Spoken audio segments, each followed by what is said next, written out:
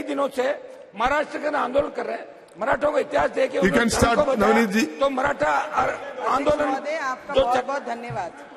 आरक्षण महिलाओं के आरक्षण का जो बिल है पहले तो इस पार्लियामेंट में जितनी भी हमारी महिला रिप्रेजेंटेटिव होके गई हैं उनका दिल से नमन करना चाहूँगी।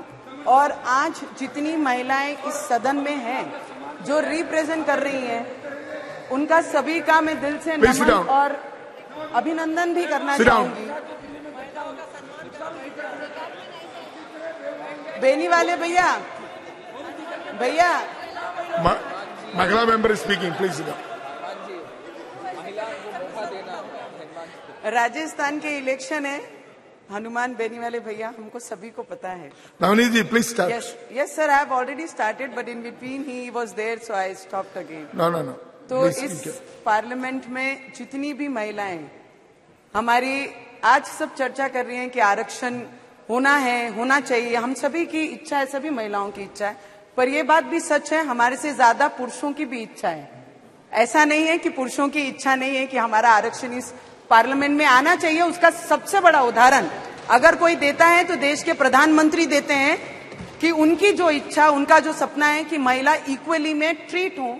उनका सिर्फ़ भाषण में मान सम्मान ना हो, उनके अधिकारों के लिए भी उनका बिल ये पार्लियामेंट में आना चाहिए। इसलिए इस देश के हमारे आदरणीय प्राइम मिनिस्टर जी का भी दिल से मैं धन्यवाद करूँगी।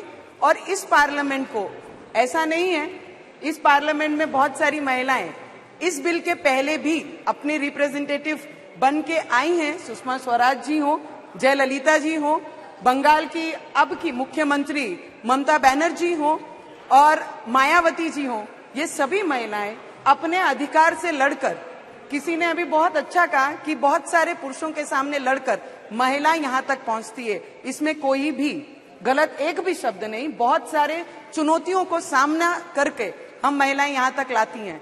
पर कई ऑपोजिशन के नेताओं ने अभी बोलते हुए मैंने सुना कि पहला महाराष्ट्र हो या बंगाल हो और अदर स्टेट्स में भी हमने आरक्षण लाया है।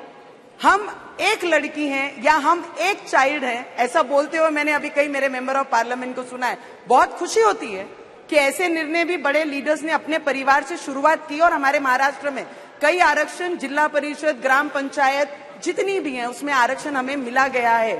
पर मेरा एक सवाल भी रहेगा, सर। कांग्रेस पक्ष ने आज सोनिया गांधी जी ने समर्थन दिया।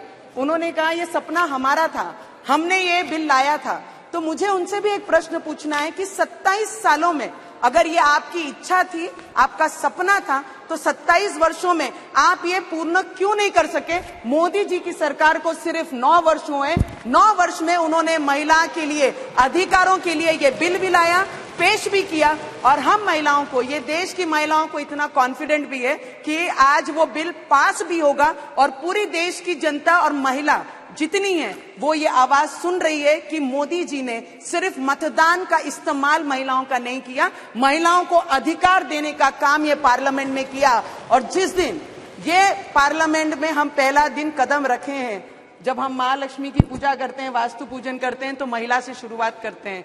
भारत माता की जय बोलते हैं तो महिलाओं के नाम से जय जयकार होती है। पर आज तक दुर्भाग्य है इस पार्लियामेंट का और इस हमारी पूरे सदन का, कि आज तक महिलाओं के नाम का इस्तेमाल सिर्फ़ राजनीतिक मंचों पे किया गया। पर उन्हें अधिकार देने की बात किसी ने नहीं की। इतनी मंशा अगर स्पष्ट थी तो महाराष्ट्र की बात करते समय, जब हम आरक्षण की बात करते हैं तो इनको यह भी उत्तर देना पड़ेगा कि आज तक महिलाएँ ना ही कभी मुख्यमंत्री का पद, उन्हें कभी दिया गया, ना ही उप मुख्यमंत्री का पद दिया गया। इन्होंने ये भी उत्तर देना चाहिए, अगर महिलाओं पे इतना प्यार और विश्वास है तो आज महाराष्ट्र में आज तक महिलाओं पे इतना विश्वास क्यों नहीं दिखाया गया? सिर्फ़ शब्दों में विश्वास, सिर्फ़ मतदानों के लिए विश्वास। मुझे लगता है महिलाओं का इस्तेमाल आज तक किया गया है मतदानों के द्वारा। पर मोदी जी ने हमारी भावनाएँ, हमारी, ऐसा नहीं है कि महिलाओं को आरक्षण मिलेगा तभी हम लड़के पार्लियामेंट में आएँगे। नहीं, सर हमारे ग्रेट लीडर्स ने हमारे ग्रेट हीरोज ने सभी ने डोंट डिस्टर्ब सर महिलाओं को बोलते हुए बीच में टोकना आपके लिए अच्छा नहीं है। मुझे लगता है महिलाओं के अधिकारों की बात हो रही है तो this parliament has to listen and आपके तरफ़ से तो ज़्यादा सुनना चाहिए जिन्होंने. 60 वर्ष राज किया और महिलाओं के सिर्फ़ मतदान का अधिकार यूज़ किया बाकी महिलाओं के लिए कभी कुछ नहीं Honorable किया तो मुझे लगता है। Yes sir I am coming sir Please conclude. Please conclude. President I have already spoken madam you don't have to tell हम महिलाओं के सम्मान के लिए यहाँ खड़े हैं महिलाओं ने महिलाओं का अपमान करने के लिए मंच नहीं है और ये पार्लियामेंट नहीं है please conclude. सर मैं इतना ज़रूर बोलना चाहूँगी रानी झांसी लक्ष्मीबाई Please, पहले। आई जिजाऊ आई रमाई सावित्री ने जिन्होंने हमको शिक्षण का अधिकार दिया शिक्षा का अधिकार शिक्षण का अधिकार दिया सर डॉक्टर बाबा साहेब अंबेडकर ने जिन्होंने मतदान का अधिकार दिया आज ये पार्लियामेंट मोदी जी के द्वारा हमें हमारा अधिकार हमारी ताकत हमारा विश्वास हमारे में फिर से एक बार जगह है सर लास्ट वन मिनट कि हम आने वाले समय में बराबरी में खड़े होकर हम निर्णय ले सकें। सर मैं इतना ही बोलना चाहूँगी। चार लाइन अमित भाई भी यहाँ पे हमारे अमित शाह जी भी यहाँ पर बैठे हैं। सर आप लोगों की भावना हमने साढ़े चार वर्षों में ये पार्लियामेंट में सबने महसूस की है महिलाओं ने।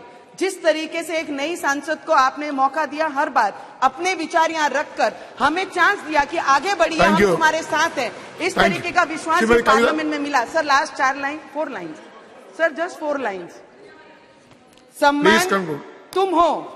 One minute Kavitha garu. सम्मान तुम हो स्वाभिमान तुम हो अभिमान तुम हो दिल अपना कभी ना दुखाना उस विधाता का विधान तुम हो और सर को दिल से मैं धन्यवाद करूँगी कि हम जैसी नॉर्मल फैमिली से बैकग्राउंड से आने वाले महिलाओं को आने वाले समय में बहुत मौका